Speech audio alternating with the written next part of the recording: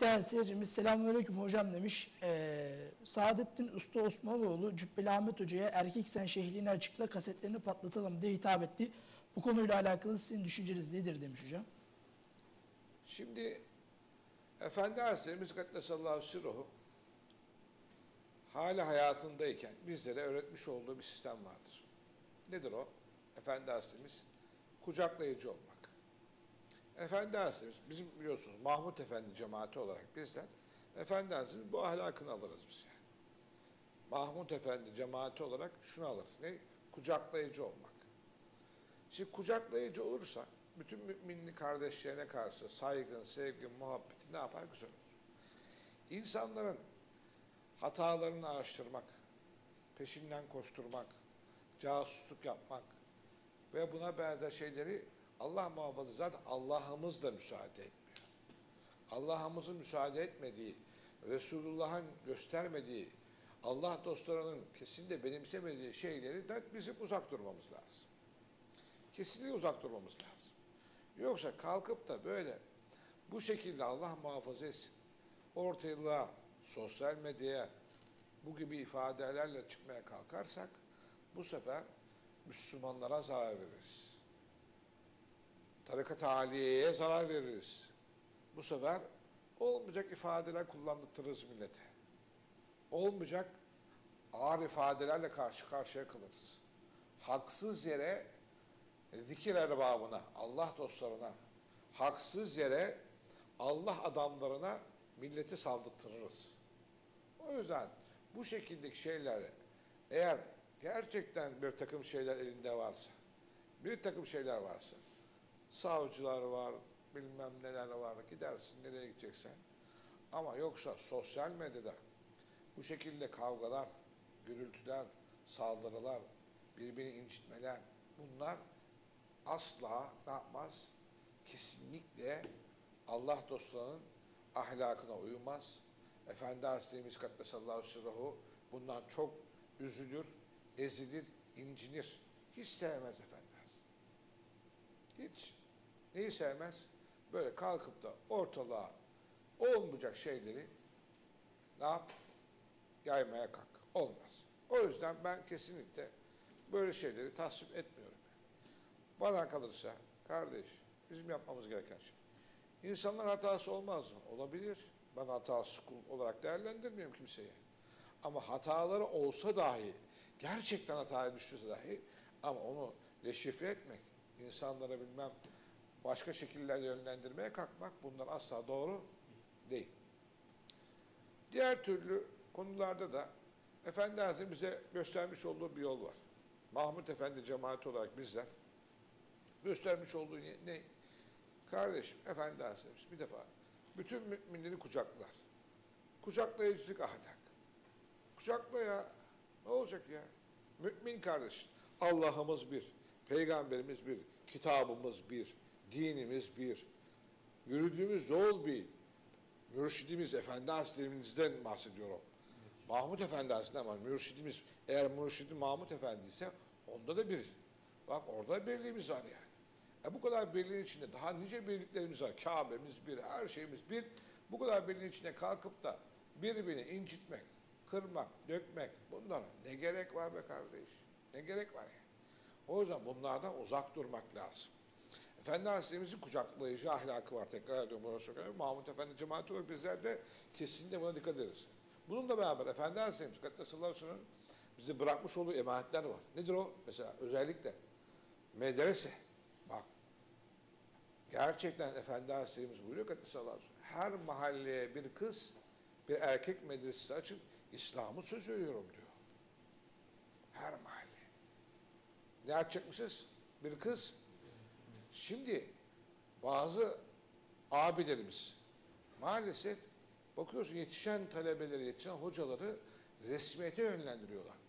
Yani resmiyete yönlendirdiği takımda ben resmi hocalarımıza saygı duyuyorum. Yanlış anlaşılmasın. Ama resmiyete yönlendirdiğin takdirde bu kardeşlerimizi bu sefer medreselerin önünü kesmiş oluyorsun. Açılan medreseleri ne yapmış olursun? Hocam ne yapsınlar? Çok kolay. Çok kolay. Devlet erkanı desinler ki bak misal medreselerimizin önünü açalım desinler. bizim yetiştirmiş olduğumuz talebeleri resmi olarak kabul edeceğiz. Yine resmi kabul edin. Ama medreselerde eğitimci olarak kabul edin. Kalkıp da bir genç kardeşimiz mesela şimdi bir bak çok önemli bir şey söyleyeceğim size. Çok önemli bu. Bir hoca kardeşimizi alıyorlar mesela. Mesela Fatih kardeşimiz şimdi resmi olsa. Tamam mı? Ne yapsa Resmi olsun. Ne yapıyorlar onu? Hemen bir köye imam veriyorlar. Dikkat edin. Nereye veriyormuşlar? Köye. Ve dört yıl orada kalıyor. Kaç yıl? Dört. Şimdi köyde imamlığı haşa beğenmemek değil. Olur mu öyle şey? Mümkün değil. Son derece beğenmiyorum. Ama dört yıl bir genç kardeşimizi köye veriyorsun. Genç yok. Çocuk yok ve yaşlı çok. Yaşlılar başımızın tacı. Ama gençlerle yaşlıların anlaşması mümkün mü? Mümkün de anlaşamıyorlar işte. E hocam oraya kimi versinler? Emekli olan imamları versinler. Emekli imam zaten. Versinler oraya. Yaşlılar hem anlaşırlar hem beraber öyle kaynaşıp giderler yani. Ama genç kardeşim oraya verince sohbet edemiyor. Dikkat ediyor musun? Hiçbir vazife yapamıyor. Soru soran yok, cevap bekleyen yok, eğitim alan yok, hiçbir şey yok. Bu sefer dört yıl çocuk orada alışınca bu sefer ne oluyor? Köreliyor. Körelünce bu sefer başlı başına bir mükemmel bir kabiliyeti öldürttürdü. Tamam. Ben resim yapmak istiyorum onu hocayı. Güzel. O zaman medresenin aç. Orada medresede ne yapsın hoca olsun. Çocuklara eğitsin. Onlara Kur'an aldığım şey öğretsin. Onlara peygamber hayatını öğretsin. Onlara yetişmiş olduğu sistemde ne yapsın? Eğitim versin. Versin, eğitim versin onlara yetişmiş olduğu sistem. O yüzden dolayı kesinlikle şu anda ama gördüğüm kadarıyla evet Efendi Aleyhisselam'ın bu yolunu bozmaya kalkanlara mutlaka buradan hatırlatma yapıyorum. Bir dakika insanlara özellikle evet bu işe sahip çıkmayan kim varsa hangi abilerimiz kardeşlerimiz varsa dikkat etsinler yani. Çok bu insanı ne yapıyor? Üzüyor. Eziyor yani. Ayrıyeten siyasi aranada da Efendi Aleyhisselam'ın bir duruşu vardı. Nedir duruşu? Biz partiler üstüyüz derdi Efendi. Partiler üstüyüz. Biz herkesin hocasıyız. Herkesin Allah'a ihtiyacı var. Bütün halkımızın, istisnasız bütün halkımızın Allah'a ihtiyacı var. Peygambere ihtiyacı var. Kitabullah'a ihtiyacı var. O yüzden bizim duruşumuz böyle olmalı.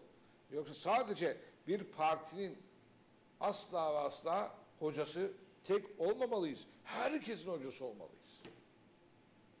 O yüzden Efendi Aleyhisselam'ız partiler üstü dururdu. Bu şekilde muhafaza etsin isterdi. Ama diğer türlü Allah muhafaza bir partinin arka bahçesi olmayı veya ön bahçesi olmayı asla ne yapmazdı? Kabul etmezdi. O yüzden bunlara dikkat edilmesi lazım. Efendi Aleyhisselam bunlar emanetleri. Bu emanetlere dikkat etmezsek olmaz. Çarşafı şerif. Çarşafı şerif bak. Çarşafı şerif. Sen söyle.